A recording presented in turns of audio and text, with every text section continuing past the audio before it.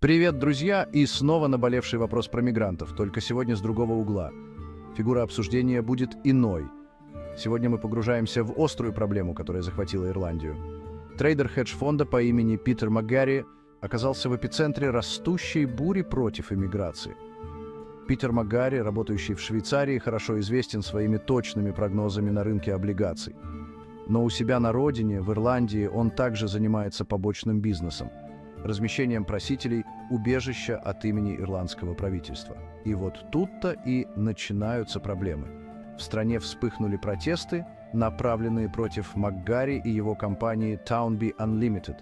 Гнев вызван антииммиграционными настроениями, которые усиливаются не только в Ирландии, но и по всей Европе.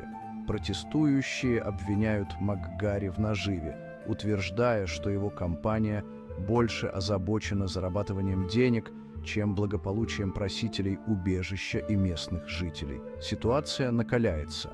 Townby Unlimited получила государственные контракты на сумму 28 миллионов евро на предоставление временного жилья просителям убежища.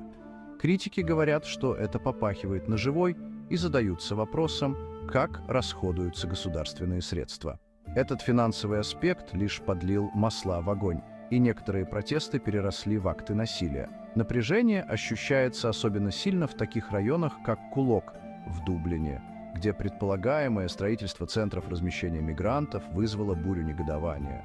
Смотрите эти видео у нас на канале МакГарри и его деловые партнеры находятся под пристальным вниманием общественности, и это отражает более широкую общественную дискуссию об иммиграции – в преддверии всеобщих выборов этот вопрос становится политическим полем битвы. Политические партии пытаются найти выход из положения, чтобы и общественные опасения учесть, и гуманитарные обязательства выполнить.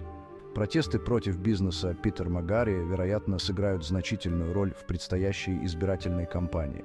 Эта ситуация поднимает ряд непростых вопросов – как правительствам найти баланс между потребностями просителей убежища и общественной тревогой?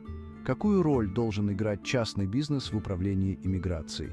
И как мы можем гарантировать, что государственные средства используются прозрачно и эффективно?